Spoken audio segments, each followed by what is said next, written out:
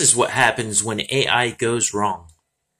What would be the most nightmare scenario you can imagine with AI and robotics?